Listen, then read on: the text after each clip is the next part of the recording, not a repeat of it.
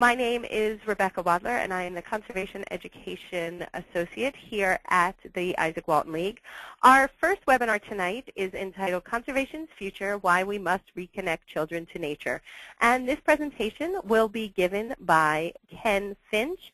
He is the president of the Green Hearts Institute for Nature in Childhood. Uh, thank you for joining us this evening, and I am going to turn it over to Ken Finch right now. Good evening. This is Ken Finch. Thank you, Rebecca, and thank you to the Izaak Walton League for sponsoring this. I'm pleased to have been able to work with Izaak Walton for a couple of years now, I think, uh, on this crucial issue of how do we get kids back outside. Uh, just by a, a, little way of background, I am essentially an environmental educator for about 40 years now, uh, working with a wide range of kids and adults in a wide range of places. And right now I run a small, tiny nonprofit conservation organization called Green Hearts, as Rebecca mentioned. Tonight we're going to be talking uh, about kids and nature, and we're going to have some guest presenters who look kind of like this. Uh, this is Calvin and Hobbes. Hopefully most of you know them. Uh, as I do this talk, I'm going to be using some cartoons to try to illustrate some of my points and keep things a, a little lively. We'll have a few other funny paper characters besides Calvin and Hobbes, um, but they will be the stars of the show, so to speak. So to get started, I want you to put your thinking cap on. I want you to ponder this question. What is your favorite memory of outdoor play as a child? It's very specifically worded. What is your favorite memory of outdoor play as a child? Now, if we were all together in an auditorium, I would ask you to think about this and then share it with friends and share it with the group. But in this particular case, we can't really do that. Um, so I'll just mention that over the years of asking this, and I've been asking this for probably close to 15 years now of various audiences, uh, I've heard lots of wonderful answers. Uh, well, just a couple weeks ago, I heard from a, a long-standing friend of mine uh, his story that when he was young, growing up in the suburbs of Cleveland, there was a good-sized creek near his house. And he and a buddy decided they wanted to play Huck Finn. So they got a large truck tire inner tube and pumped it up, uh, sawed off a section of their backyard picket fence, laid it on the truck inner tube, and floated down the creek. Uh, that's sort of classic kids playing outside. That was his favorite memory. My own favorite memory actually comes from having lived in Southern California as a very young boy with a lemon orchard as my playground. And besides the wonderful fun of climbing, climbing lemon trees, which are perfect small size for climbing, uh, my buddies and I used to have lemon wars where we actually would throw lemons at each other, trying not to hit each other, but instead to hit something in front of each other so it would actually spray lemon juice in our eyes. Uh, that peculiar little memory is actually my favorite memory of outdoor play as a child, and hopefully you all have come up with great memories. Uh, let's take a quick look with the help from Calvin and Hobbes, though, about sort of how child's play outdoors used to be. Here's just a little explanation, though, we should talk about, I guess. Um, as you thought about these questions, I virtually guarantee that those memories were about outdoor spaces, about wild spaces, and wild to your eyes. You know, they may not look wild to your adult eyes, but wild to your young child eyes. It might just be a vacant lot or a little leftover patch of wetlands or maybe the back 40 of your farm. Um, for many of us, those are what those great memories were made of. It's actually very rare to hear anybody's favorite memory be of commercial playground equipment or organized sports. It's almost always something along the lines of mucking around in the woods. But sadly, childhood has changed, and it's changed very dramatically. Here's a look at how it used to be. Look, a trick of water running through some dirt. I'd say our afternoon just got booked solid. Used to be just as simple as that, and I bet a lot of you can remember playing very much like that. Unfortunately, nowadays it's very, very different. And even though that kind of play seems timeless and that it's really happened that way as long as humans have been on the planet, it may not be eternal. It may not last forever. So the way children's play is now is more like this. See, this is called the outdoors. Oh, I've seen this level on my video games. Children's view of reality is a lot different than it was for some of us who are baby boomers or even younger. Children are truly becoming disconnected from change has been documented in tons of research now, and there's all sorts of statistics out there. The ones I use just as relatively simple ones. Uh, today, American children spend approximately 27 to 30 percent of their total time with electronic media. meaning television, computers, video games, iPads, uh, and, and recorded music as well. All told, American children spend about 1 to 2% of their time outdoors. So call it 27% indoor with electronics versus 1% outdoor playing. And if you look at that outdoor play break it down into what we call unstructured play, play that the kids make up themselves, some reports have shown that it can be as little as 30 minutes a week now on average. That unstructured play is important. We'll take a little bit more of a look at it later on. But unstructured play, where kids go out and maybe get together with a buddy and decide, hey, what do you want to do? It's very, very different than play when you go to a soccer league or t-ball or something that, you know, similar that is designed by adults and controlled and scheduled by adults. That kind of unstructured play, it's actually really, really good for kids. so, childhood has changed. The change is powerful. It's unprecedented. It's nearly ubiquitous across all of the developed world, and it's happening, happening incredibly rapidly. Really, childhood has changed in the course of about 30 to 35 years, one single generation. And it's a change that is 180 degrees almost from what childhood has always been before. Uh, nobody even really has a, a, good hypothesis about what the long-term effects of this are going to be, but we have some pretty good ideas about what's caused it. So let's take a look at what happened to outdoor childhood. It's a whole bunch of things that have come together, sort of a perfect storm. No great evil person behind it. Uh, it's really just an accident that these things have all happened simultaneously, but it's a very powerful accident. First one is urbanization. It's so lovely out here, you wonder why they have it so far from the city. Today, over 80% of Americans live in metropolitan areas, cities and suburbs. In some of those places, green space for kids to play in is relatively rare, but more commonly the issue is not whether or not there is green space available to those city kids, it's whether or not they have access to it. If there's a great park two blocks away from a city kid's home, but half of that two blocks is taken up with an eight-lane freeway, then the park might as well be 10 miles away. Similarly, if their parents view that park as being in a really dangerous high crime area, they also probably won't have access. So as we've become more urban, kids don't have that easy, ready, right out the back door type of access to wild areas that they used to have. And again, wild in their eyes.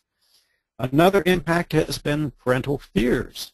A quick example of how over the top we've gotten, read all about it, falling leaves kill six. Parents are afraid of everything nowadays.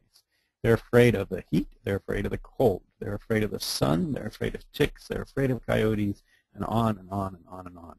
All of these have some basis in reality, but all of them are blown dramatically out of proportion. The biggest fear, of course, is the fear of crime, or the fear of the boogeyman, if you prefer. Um, parents inevitably worry about their children, and so do other caregivers, like teachers. So it's natural to think, is my child safe when they're playing off at a park and I can't see them? nowadays it seems like we hear all too often about crimes against children. Reality, the statistical reality, is that crimes against children are actually less common now than they were a generation ago. What most of us don't realize is that, is that because of media, that perception has changed. We live in an age of 24-7 media, and unfortunately, crimes against children make very compelling news. So on the rare occasion that something terrible does happen, we're likely to hear about it over and over and over again. And it'd be the very rare parent whose brain would not be hearing those news stories and thinking, my God, that could have been my child. Even if their left brain knows that statistically their child is in far more danger in other things like their bathtub. But parental fear is a huge issue even though it's not well grounded in reality, it's a very strong perception. And for most parents, perception is reality. So we can't ignore it, but we can certainly try to calm it. Another issue is liability concerns, a different kind of fear, if you will. That's the cartoon City Park No, and I won't read all the list, but the little kids saying, yes, they're worried about liability. Are we allowed to speak? Again, we're way over the top on this. Uh, liability cases involving outdoor play are actually less common than most people think.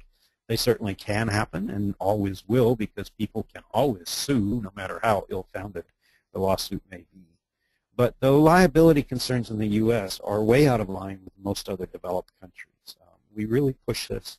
We hear about it and it becomes sort of self-reinforcing where you know, insurance agents, for instance, start predicting mayhem for outdoor play when there's really no data to support that that would be a problem. So liability concerns mostly need to be calmed down and addressed with actual facts of what is truly dangerous to children and what isn't really dangerous. Uh, for instance, there's a great statistic out there, uh, a, a valid statistic, that every six minutes in the United States, a child is admitted to medical care for an injury caused on stairways. Think about that, stairways. You don't hear anybody starting a campaign to ban houses with two floors or to sue the builders or architects who, who created them. And yet, statistically, that's way more dangerous than climbing trees or playing in the park down the street. We tend to take for granted the common dangers to kids and go over the top on less ones. And liability tends to play off of that and say, oh my goodness, if a child is hurt, then somebody's to blame. And if somebody's to blame, then somebody can be sued. Another impact is overscheduled childhoods. We can illustrate it with this cartoon. When you say, look, we bought you some new educational software, they must hear, we're doing our best to make your lives one humongous school day. In some parts of our country, childhood has become, or parenting really, has become almost a competitive sport, especially in wealthier suburban areas. Uh, it, it's almost like how many things can you enroll your child into? And it's always well-intended, of course, and usually framed in, in, concerns about the child's future, whether or not he or she can get into Harvard or Yale or choose the school of your choice, whether or not they will have a healthy, happy, successful childhood. But this is a huge change, this uh, overscheduling, this constant being in school. Most of us remember coming home from school, and then as often as not, you'd go outside to play. Nowadays, kids typically come home from school and go right back into school, although we call it something different. Now we call it Tai Chi lessons or church groups or organized sports or swimming lessons or French lessons or piano lessons, etc., etc. Every one of these is good for ch children individually. The problem is we're piling them on so much that kids are left with very little free time. Free time to use their imagination to create their own play to develop their innovative thinking and to develop that creativity, to sort of take leadership for their own time. Kids need that. It's an important phase of childhood development. And by putting them into a constant barrage of adult-scheduled, adult-designed, adult-controlled activities, we're taking away the chance for them to really grow out of their own minds and their own initiative. And then finally, everybody's favorite boogeyman about children and outdoor play is plugged-in play, illustrated here with, Junior, it's time to take your Lipitor. Not now, Mom, I'm playing baseball.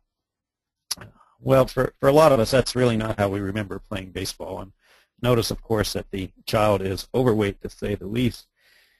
I've uh, given you some um, statistics already about children's play outdoors uh, versus play indoors. There's no question that electronics are having a big impact Personally, I'm not rabid uh, against electronics. I think like so many things in childhood and in parenting, uh, it's a matter of, of moderation, of some degree of parental control. I don't think it's realistic to try to keep your kids away from all electronic devices, but it's certainly realistic to set limits and periodically to open the door and use that time-honored parental phrase, go out and play. So all of these things together have had a tremendous impact on childhood as we know it. There's two main areas where these impacts show up. We're going to primarily concentrate on one, but I want to do a quick overview first of one of those areas, one of those domains of impact is child development. Outdoor play, children's unstructured, frequent outdoor play, has been shown by research around the world to have very powerful impacts on a child's development. And there's multiple, usually called domains of development. Um, you see five of them here. These are probably the five most common. Intellectual, social, emotional, physical, creative, and spiritual. There's very, very good evidence that unstructured play in a rich outdoor setting is terrific stimulation for all of those. The key being that rich outdoor setting. You know, not out in, you know, just sort of a, a bombed over desolate playground that has just a few pieces of equipment and poured in place rubber surfacing, but some form of natural area, again, natural to a child's eyes, that has immense stimulation, all sorts of sensory stimulation going on. The more kids look, the more they find. And the more often they're out there, the more they find because those natural landscapes change every single day. That type of play, when kids are out exploring, discovering, testing, experimenting, challenging their own abilities, challenging their friends, really supports all of these developmental domains. It's often been said that play is child's work. Play for a child is not wasted time. Play is really how the human animal has evolved over generation after generation and generation to be adapted to our environment, to the world we live in. And the more we study outdoor child play, the more benefits we find in these areas of learning and socialization and emotional health and physical health. And incidentally, it certainly can't be a complete coincidence that we're seeing such an issue with obesity right now at the same time as children's outdoor play has been slipping away. When you just think of the physicality of that outdoor play, that unstructured outdoor play with kids running and climbing trees and digging holes to china and carrying around logs, et cetera, et cetera. Great physical exercise, which for the most part now is being turned into sitting on a couch playing with electronics. So one dimension of the impacts of outdoor play is this child development, but the other one is conservation related, and that's really what we're here to talk about tonight. Stephen Jay Gould, an author, naturalist who many of you probably know, said it very nicely. We will not fight to save what we do not love. We will not fight to save what we do not love. What this really says is we need to make sure kids are falling in love with nature we want them to grow up to be adults who fight for it.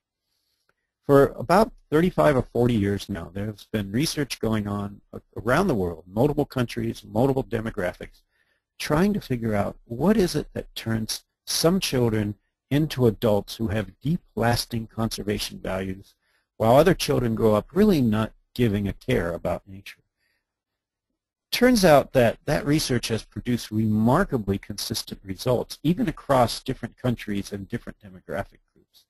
And there's two that stand out. There's a list of 12 to 15 overall influences on conservation values, and for any given kid, any one of those influences could be what lights the spark but two of them stand out above everything else. The first one, frequent enjoyable experiences in natural settings during childhood. That's researcher speak for what we now call nature play. Frequent enjoyable experiences in natural settings during childhood. Basically, being outdoors playing a lot. Calvin will give us a look at this. Wow, look at the grass stains on my skin. I say, if your knees aren't green by the end of the day, you ought to seriously re-examine your life. And for a lot of us, that probably looks pretty familiar. So the single most common influence on adult conservation values is frequent nature play. It's a very, very important thing to remember. A close second influence is childhood mentors who introduced and guided nature experiences, essentially adults who took a child by the hand and shared their own love of nature. Most often this is parents, but it certainly can be grandparents or a youth group leader or occasionally a teacher. But again, it's that adult who took a child fishing or hunting or hiking or camping or bird watching, who basically introduce nature to a child with a sense of joy and wonder. Here's a quick look at that. Wow, so you can build a whole snowman without reading any instructions, Daddy? Yeah, adult mentors turned out to be very, very important in this research. When you take these two influences together, what they really mean is that the heart comes first, that emotion is the key, that it's not about learning ecology, environmental science, etc. That's important eventually. But the first step, the foundation to it all, is emotion. It's falling in love with nature. It's coming to think that nature is a part of your life and that you want it to stay that way. And how do children fall in love with nature? Simple, by being in it, by playing in it, day after day after day. You don't fall in love with nature just by watching videos of it. You can learn a lot from videos, but you fall in love by being out there. So the bottom line here, kids need nature, nature needs kids. Kids need nature because it stimulates their development so exceptionally well, better than any classroom, better than any commercial playground could ever do. Nature needs kids because we have to make sure the next generation of kids falling in love with nature and is prepared to take over the conservation work that we've been doing really very well for the last 50 years. But ultimately, our work will not last if future generations don't continue it. One of the frustrating parts about being a conservationist is that the work is never over.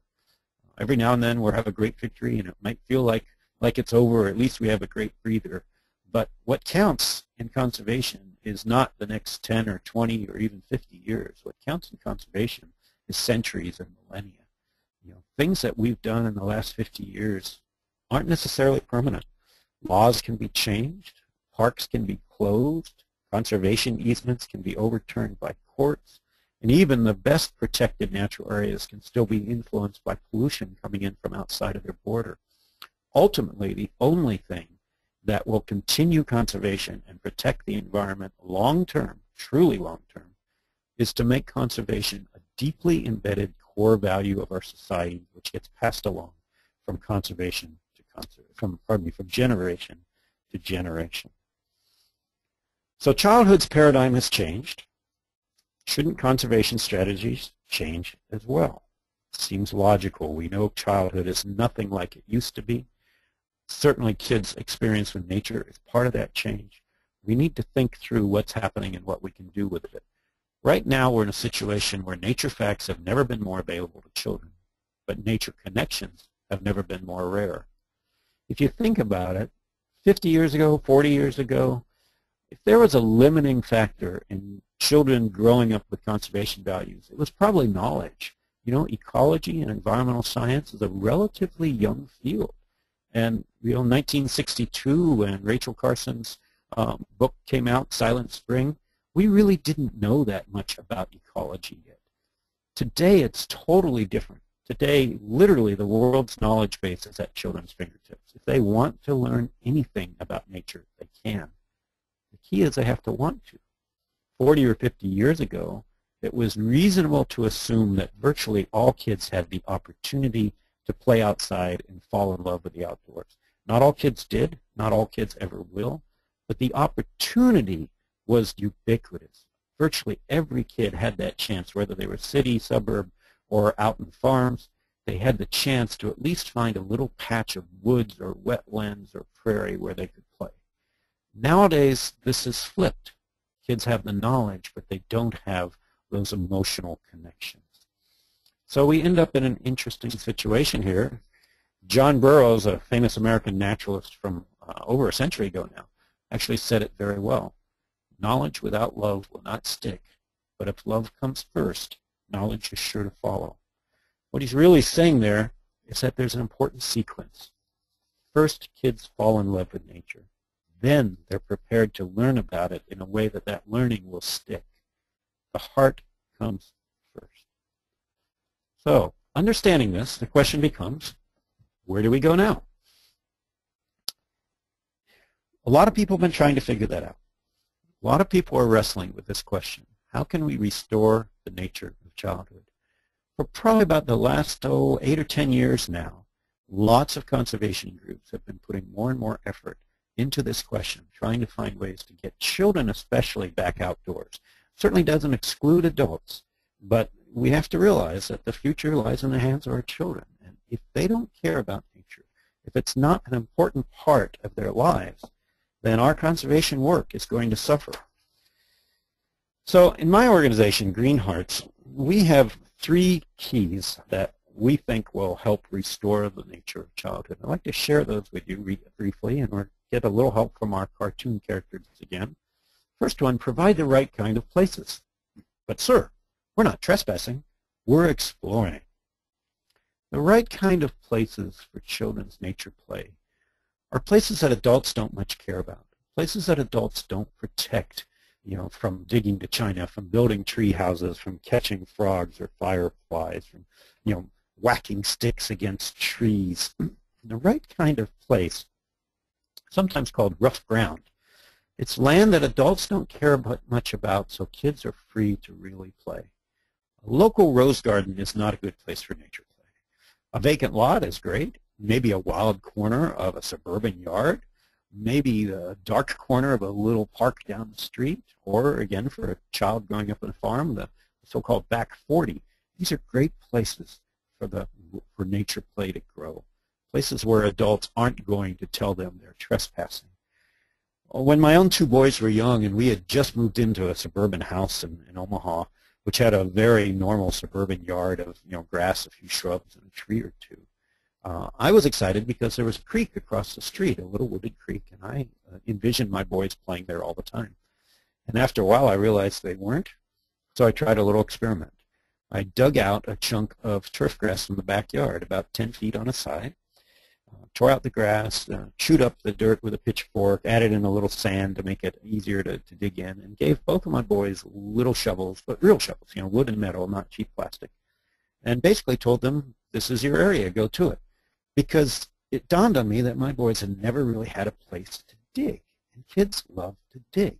They love digging just for the sake of digging, but it gets even better when they find things. So my kids started digging, and for the first several days, they were finding earthworms and grubs and occasional rock, that sort of stuff. These are treasures to young boys. Predictably, after a week or two, that started to become boring. So they thought up the next stage. They started burying things. And mostly they buried their little Hot Wheel cars and they buried their little green plastic army soldiers. Most of you probably remember those green army soldiers. They actually may be the only part of childhood that hasn't changed in 50 years. Still buy the exact same soldiers. So they would bury these things, and after a few days, they'd go dig them up and literally come running inside saying, Dad, Dad, look what we found. And of course, I'm thinking, my children are loonies. But the reality is, that's great pretend play in a natural setting. After a couple weeks of that, it moved on to the next stage when one of my boys discovered that the hose would reach the digging pit. And it became a totally different experience, but very definitely immersed, immersed in nature. The point is that the right kind of play doesn't have to be, the right kind of place, pardon me, doesn't have to be anything spectacular. It can literally be a little chunk of the backyard where kids are free to start digging and exploring on their own and finding little bits of nature that's right there under their noses. So the right kind of place is the first necessity. The second one is the right kinds of play. So Calvin and Hobbes will give us an illustration. Why are you digging a hole? I'm looking for buried treasure. Duh, that's why kids always dig holes. What have you found? A few dirty rocks, a weird root, and some disgusting grubs. On your first try, there's treasure everywhere. The right kinds of play understand that there are treasure. There are treasures everywhere. The right kind of play is uh, I, I, referred to it earlier as unstructured. It's sometimes called child-directed or open-ended. Again, it's play that the kids make up as they go. It's not designed by adults. Doesn't mean adults can't be supervising if the adults are wise enough to back off and not tell the kids what to do, when to do it, how to do it, but rather for the adults to just sort of be a lifeguard. You know, the adult is there only if something dangerous starts happening. The right kinds of play are unscheduled, and if not unsupervised, then at least very, very lightly supervised. It's play that children make up. It's an important distinction that we need to realize, too, in the right kinds of play. The difference between playing with nature and playing in nature. And for our purposes, for trying to create a bond between children and nature, it's a very important distinction. It's not just about going outdoors. Putting your ping pong table in your backyard is not nature play. Throwing a frisbee in the park is not nature play. Playing golf is not nature play. All of these are perfectly good things. All of them have developmental benefits for children and maybe even for adults. But nature play is direct interaction with nature. Actually getting your hands on it, getting directly involved with it, making mud pies, climbing trees, catching frogs, playing poo sticks in the stream, raising caterpillars into butterflies. All of these things are what nature play really is. It's not just using nature as kind of a stage setting for other play, but it's actually engaging with nature. It's important to note that when kids do this, it's inevitable that there will be some minor harm done. that you know kids will stomp on ants, they will pull wings off of beetles, they will break off branches. None of us want kids to do these things. None of us should encourage kids to do these things. But at the same time, it's important to realize that none of these actions are doing harm on an ecological scale. And the reality is most of us did the same things. If you want to have fun and conversation sometimes with other nature lovers, ask them what illegal or harmful things they did in nature when they were children. Because almost all of us have these stories. Almost all of us are a little embarrassed about it, so it sometimes helps if you tell your story first. And I have a story that's too long on here, but it has to do with hitting a rock with a robin. And I really didn't mean to, but I did. These kind of experiences, I think, actually play a role in children beginning to develop empathy.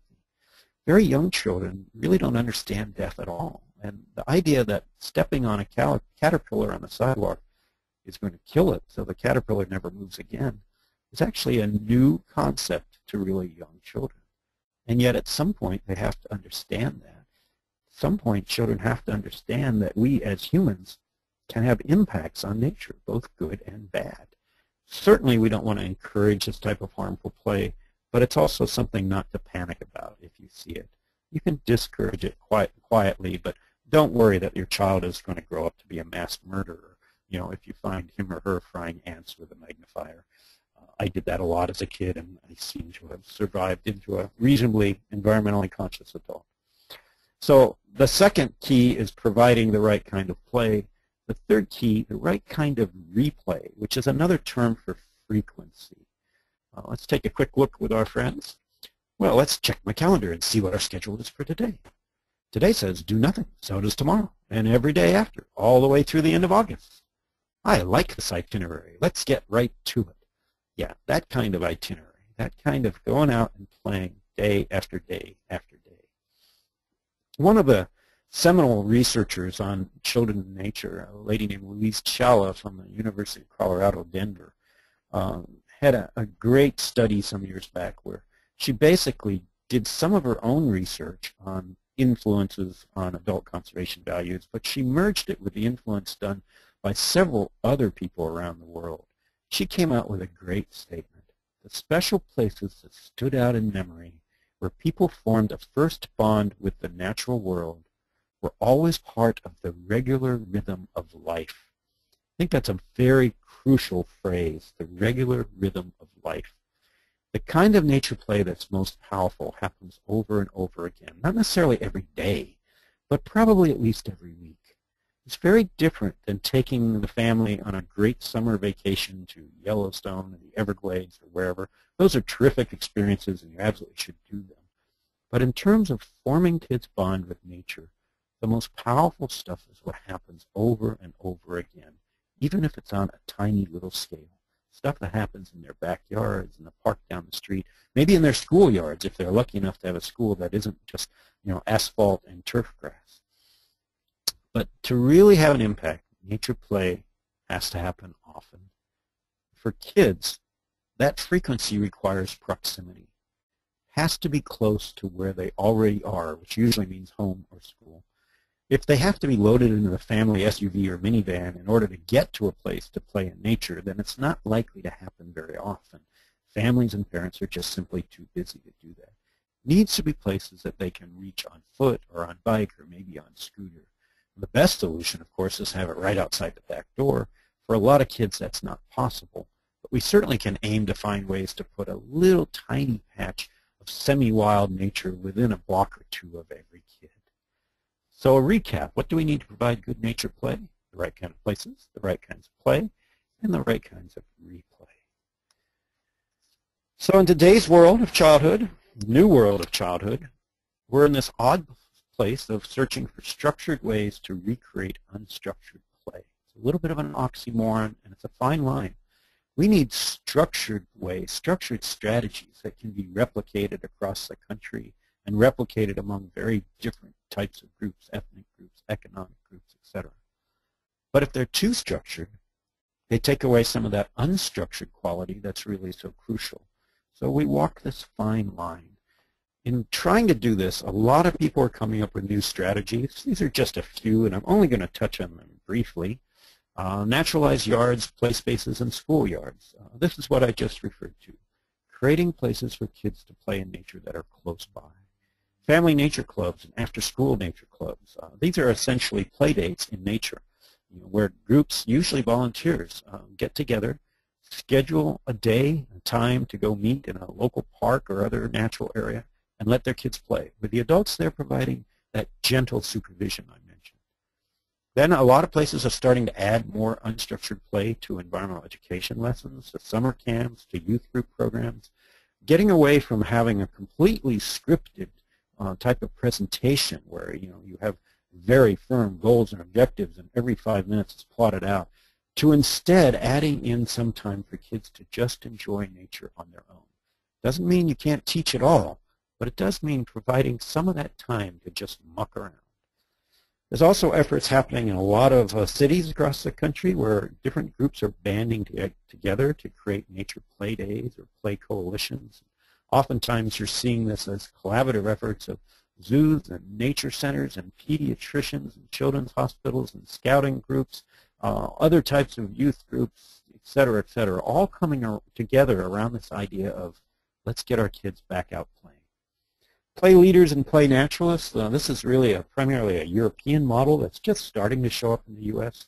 These are adults who are actually trained to engage kids in outdoor play, not to lead them in the way that a soccer coach would, but rather to model behavior and then turn it over to the kids. For instance, a play naturalist like they use at uh, Five Rivers Metro Parks in Dayton um, may meet families just as they get out of their cars at a park and ask, hey, do you want to go walk up the creek? or you want to crawl through the prairie for a few yards, encouraging kids and adults to do the kinds of activities that the families may not think are even allowed, but really are the kind of activities that historically have started to form those bonds between children and nature. We're also starting to see places relax their rules a little bit in natural areas. Historically, many, many years now in the U.S., virtually every natural area had the same rules. Things like stay on the trail, don't pick or collect anything, don't run, don't throw rocks in the pond, don't climb trees, don't dig holes, etc., etc. And yet, when you talk to adult conservationists and ask them to be honest, most of us remember doing exactly those things when we were kids, and most of us remember those things as being influential. So we need to think carefully about rules. Are we just putting rules in as sort of a knee-jerk automatic function, or are we really thinking about what's important for the long-term protection of a site and indeed of the environment? There certainly are places where nature play is not appropriate. You know, the patch of wild orchids on your property is certainly not a place where you want kids digging the china. But an awful lot of protected land can easily absorb the slight impacts of children's nature play. And in the long run, we're better off with it because those kids will be forming that bond the initial foundation for conservation values. It's amused me over the years how often I've heard places like nature centers protest that they couldn't possibly let kids play in their woods because of the damage they do. And yet if you look, you see that those same places have built a driveway and a parking lot and a building and probably did more damage to the environment in those efforts than kids will ever do playing in their woods or their meadows it's really a matter of thinking through what, what are our priorities and are rules essential or do rules perhaps get in the way sometimes? And then one last model, which is still relatively rare but is starting to catch on, nature-based preschools. These are fully licensed child care type of centers where kids will attend two to five days a week for an entire year or at least a school year. But nature-based preschools are sited in green spaces and the kids are outside every day in any kind of weather that isn't actually dangerous. And that outside time gives them unstructured time, time to explore, with adults always there, you know, trained professional early childhood educators. But the kids have the freedom to explore. It's really almost a perfect model of the three keys I mentioned earlier, the right kind of place, the right kind of play, and the right kind of replay. Nature preschools can embody all of those. So those are a few ideas of what's being done right now. We're going to talk a little bit more about nature play and how we can foster it because a lot of you have properties where you might be able to allow this or encourage other physical sites to allow it. Let's take a quick look at some core principles of nature play. Two of these we've already talked about, and I won't dwell on any of them. The first one, trust in nature. After a while as adults, we get so used to enrolling our children in all manner of structured activities that we may lose track of just how engaging a little patch of nature can be for children. Children can play for a long, long time in the simplest of environments. For some kids, it might take a little acclimatization, especially city kids who might not have spent that much time in any kind of semi-natural area. But once they get used to it and get past those initial worries or fears, kids can play for a long, long time in a little patch of wild. So we need to trust that nature is in fact a fabulous playground. As I mentioned before, we need to remember that the heart comes first, and we need to stress playing with nature, not just in nature. Frequency is crucial. Don't panic about a little damage, as we've discussed. Relax about those rules. Rethink your rules. What is really necessary? Some places with larger natural sites have actually instituted a zoning practice where they will designate a certain piece of their land, usually close to the parking lot or the interpretive facility, as pretty much sacrificial, you know, recognizing that a huge percentage of visitor activity is going to happen on this particular part that's close by and convenient, and essentially saying it's okay for damage to happen there. And then oftentimes creating another zone where things are protected but not absolutely positively religiously, but the rules are a little tighter, maybe more like the typical rules we just talked about. And then perhaps having a third zone people aren't allowed at all, and that might be that, that patch of endangered orchids or perhaps a den site for an endangered animal. And you know those parts you don't want people going at all. You don't want any trails steering them in that direction. So that zoning is a way to address this rules issue. We need to value active and quiet play alike. Oftentimes we think of nature play as that digging and climbing and tree fort building and running, etc. But there's another side to nature play. It's the quiet side. It's kids curling up in a patch of tall grass and watching the clouds go by. Or maybe having a little tiny nest sort of tucked away in some shrubs where they and their best friend can just sit down and have a good heart-to-heart -heart talk. That kind of quiet, contemplative play is equally important as more active nature play. We need to embrace managed risk thoughtfully, understanding that nobody wants children to get hurt, and there are dangers in outdoor play, but there are dangers in all aspects of life. Remember the story about the stairways and a child going to medical care every six minutes.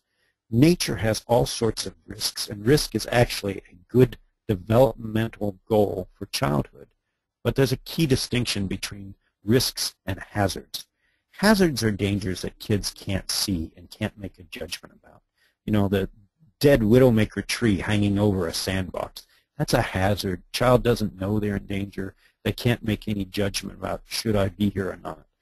Never want hazards. And hazards should always be watched for and removed or solved. Risks are different. Risks are something where a child can see the challenge, the potential danger, and can make a judgment about it.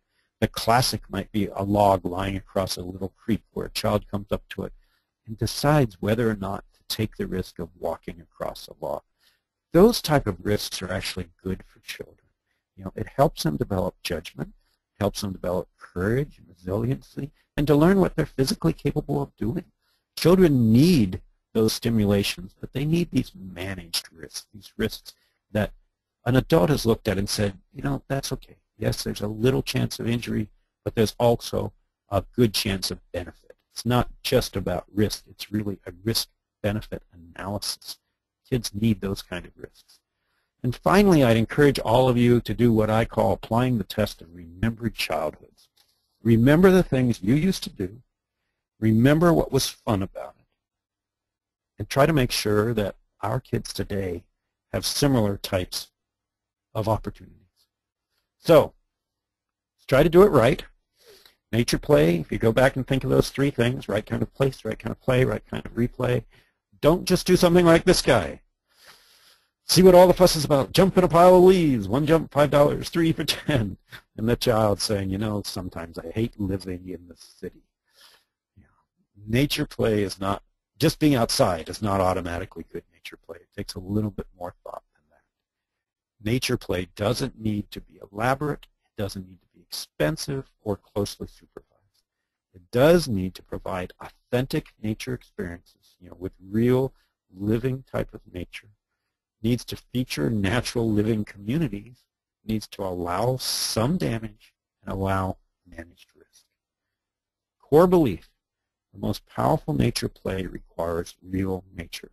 Seems simple, but right now, as lots of good organizations are trying to find ways to restore children's bonds with nature, seeing a lot of examples of places that are really just about outdoor play rather than nature play. They're well-intended and generally good for kids. But remember, if you're really trying to form a bond with nature, it's got to have real nature involved in it. So this kind of tree fort is what we're really looking for. And you can't really see it very well, but those two signs there, one of them says go back, and the other one says beware. You know, classic type of tree fort. Or this kind, tree built for climbing, and you notice in the distance is actually a wonderful little rope ladder, so kids can go up, along, and back down. Not this kind. There's actually one local company that advertises this as a tree house. Well, it does have developmental benefits for kids. That's a perfectly good, safe thing for children to play on. Uh, and they could have a lot of fun on that, but that is not real nature. It's certainly not a tree house. This kind of log play, you know, picking at logs, tearing off the bark, finding bark beetle traps or roly-polies underneath the bark. Not this kind of log play with a sanded, varnished log, which really might as well be a piece of plastic pipe. This kind of stream play, you know, mucking around in a real stream where you might catch minnows or water striders or find insect larvae like caddisflies not this kind of stream play where you really just have a concrete water table with recirculating water. Still fun for kids to play with. There's still developmental benefits, but they're not too likely to form much of a bond with nature when there isn't anything really alive in there. It's just recirculating water. It's not that much different than a bathtub. So what does authentic nature play look like? We're going to take a quick look at some pictures. This will sort of get us near the end of our talk. I'm not going to spend a lot of time on any of these, but it'll give you a little better idea of what we're talking about with nature play. Basic nature play, pile of leaves, lying grass. How about exploring a little pond, maybe with your mom? Or playing in a creek again. Terrific creek. This is actually an artificial creek, but very nicely done. Notice the water is very, very shallow, so it's safe. And there's nice cobblestone, uh, cobblestone type boulders to play with, so kids can form dams and little chutes kind of things kids have always liked to do with running water. Simple little tools can help, magnifiers or binoculars or bug boxes. How about just swinging on a sapling, sitting in a hammock with a friend, building a real rough and ready little fort. This obviously had some adult help. Adults put down the big logs, but kids have been adding to it. It's a nice approach. You sort of create the skeleton of a fort and then let kids fill it out. Or a digging pit if you look real carefully back here, it says, dig to China. How about a mud pit? This is actually a nature center in Nashville that has a little mud pile here and a mud puddle for kids to play in. And the results look kind of like this. How about just smelling the flowers? That too is part of nature play. That simple appreciation where awe and wonder begins to be born. A little physical activity. This child is carrying a pretty big tree cookie and is probably pretty proud of the weight he's lifting climbing on trees, in this case a dead tree, which is still a great place for climbing, crawling into snow and ice. What do you suppose these two girls are doing? Yeah, they're pretending to be little baby birds in a neat little nest woven out of willow. And willow tends to be very flexible, especially in the springtime, and adults can easily make all sorts of structures out of it. Or growing a little garden is a great way to connect with nature. You know, not only do they get the the sheer magic of watching a little tiny seed grow into a seven-foot tall corn plant, but they're also learning about caring for other living things. Catching butterflies, classic activity. Getting close-up looks at them after they've just come out of the chrysalises. Or maybe using a bug box for a good look at all sorts of little critters and then hopefully turning them loose. Or sometimes it's just a matter of jumping and running this child is jumping off maybe about a three-foot high berm, but to his world, to the small world of children, that's a big, big jump. Remember, it doesn't take that much. So, to recap, kids need nature. Nature needs kids. They're both critical. We need to look at both sides of this ledger, if you will. We need to get kids back into nature for their own growth and benefits. We need to get kids back into nature so that they will grow up to be conservationists like you and me, the people who really care. So I'm happy to have had a chance to talk with you tonight. Uh, this is a little information about my organization, Green Hearts. Again, very, very happy to be working with Izaak Walton League on this project and on others. They're doing a lot of great work. Um, they are available to you as resources. Here's the information you need for Izaak Walton League.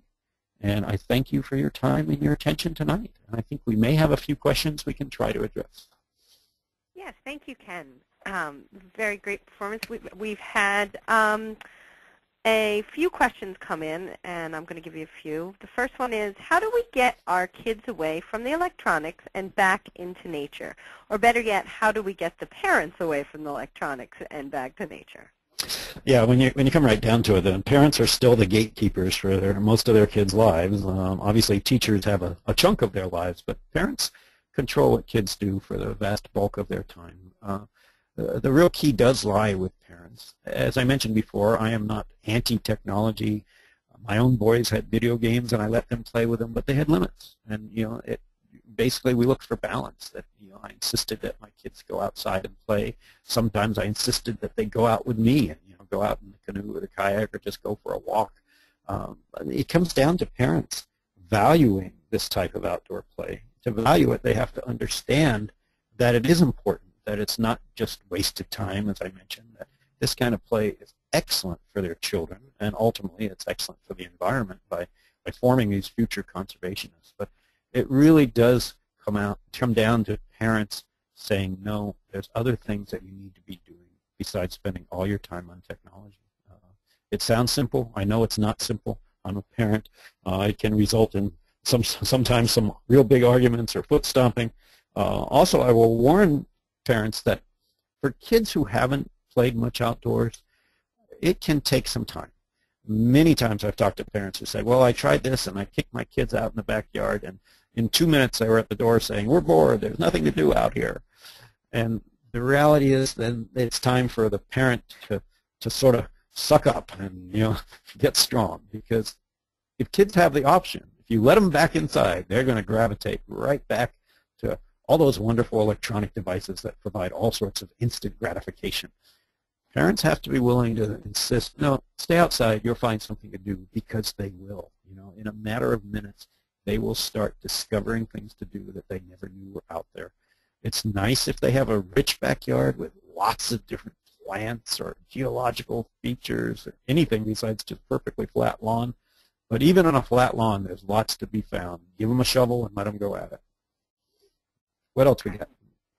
Well, this one is very similar to the other one, also asking about parents. I think you addressed it. But how can we convince parents that their kids will enjoy being outdoors when they haven't mm. experienced those things um, when they were growing up. So how, if the parents didn't have those meaningful outdoor experiences, how do you really get to the parents? Yeah, that's that's actually a really good point. I, I, think for a, lot of us who are involved in nature play, uh, it's sort of the the worrisome scenario is what happens if we have a new generation of young parents, you know, the 20-somethings maybe, who didn't grow up playing outside, who were part of this, you know, change to indoor childhoods. What happens if we have a new generation of parents who don't appreciate outdoor play and who don't have any of these memories of it? Um, that is the worry that it potentially could lead to sort of a downward spiral, if you will, because they'll be less likely to get their kids out playing, and that will probably keep going, perhaps generation after generation. So that's why there's a certain degree of timing urgency to finding ways to restore the bonds with kids in nature because of that scenario. I, think there's a couple of keys. Um, one is to look for multiple ways to get parents involved outdoors with their children that aren't particularly threatening or worrisome. Uh, for instance, lots of nature centers and other outdoor groups sponsor parent and child activities, sometimes called mom and me, but they can oftentimes be, you know, dad and dad and you, whatever. But these are things where the child and the parent or another caregiver, grandparent, uh, an uncle, whatever, are outside doing nature things, but with usually some form of instructor along to provide some security. Parents feel a little bit more comfortable oftentimes in that scenario where you know they're not alone. Um, I mentioned, I think, uh, family nature clubs. This is something that if you Google it, there might be one in your area. Family nature clubs typically are a bunch of parents who have bonded together around this concept of nature play and invite everybody to join them, usually for free. And you know, they get together. It can be a little bit of social time for the parents, but it's time for the kids to play outside in a safe environment because there's lots of adults there, but they're smart enough not to intercede if it's not essential. You know, if something dangerous is going on, sure, the parent gets involved. Or if the child brings something to them, of course they can get involved. But I, I think that, that role where the parents are there, you've got the support of other parents to help you along, uh, can be really important. Also, I'd encourage um, parents who, who might see the theoretical value of nature play but might not have experienced themselves, uh, get the grandparents involved. You know, have those parents talk to their parents because virtually guaranteed if you go back one more generation, you will hear you will hear lots of great stories about playing outdoors and about how good it was and how much fun it was, uh, and in fact, getting the grandparent involved directly. You know, asking your grandparent, you know, to take little Johnny or little Susie for a walk or for a paddle or a hike or bird watching or helping him start a garden. You know, bringing that older generation into play uh, can help make up for what the younger parents may have missed when they were kids. Okay, great. I had one more question. Um, you talked a lot about um, replay and having nature nearby, but what about um, people that are living in urban areas, in city living, that don't necessarily have a nature area right outside their door, easily accessible? Um, how, what, would, what would your advice be to them and their children? Yeah, it, it, certainly can be a challenge in, in some places. You know, as I mentioned before, even if there's green spaces available to real inner city kids, uh, they may be off limits for one reason or another. Um, oftentimes there are some little patches. I mean, literally even a, a courtyard of an apartment building uh, has nature in it if you look and can be seen as a pretty safe environment. Uh, and that might involve getting permission to add some plants or a little garden if there isn't already one. Uh, a lot of cities now have a lot of community gardens, including oftentimes in some, some disadvantaged areas where, you know, the extra food is very, very welcome, just as much the chance to be out getting your fingers in the dirt is a great opportunity. Again, it's one where there's a certain degree of, of supervision or adults involved. It's not completely kids on their own. Oftentimes, too, you will have some form of youth group that can facilitate this. You know, if not an Izaak Walton, then maybe it's a Boys and Girls Club, something like that. Um, also, for the parent who, who cares about this, it's important to realize how small a scale can work. Literally, a few large pots, you know, the big sort of polyurethane things you can buy now in hardware stores that are, you know, two feet across, but, you know, weigh maybe only a pound, you can grow great things in those pots. You can grow vegetables, you know, little cherry tomatoes that kids might try, or a little blackberry plant maybe that will sprawl around your porch or patio. Uh, maybe even plant a, a milkweed plant, which is virtually guaranteed to attract monarch butterflies because milkweed is the only thing that monarch caterpillars feed on. That would give kids a chance to watch those monarch caterpillars form chrysalises, sometimes called cocoons, and then emerge as adults. Uh, and it's not too hard to find some milkweed at your local plant nursery. So basically, it's important, I think, for the really, really inner city kids who don't have access to the, to the kind of ideal nature that we would like.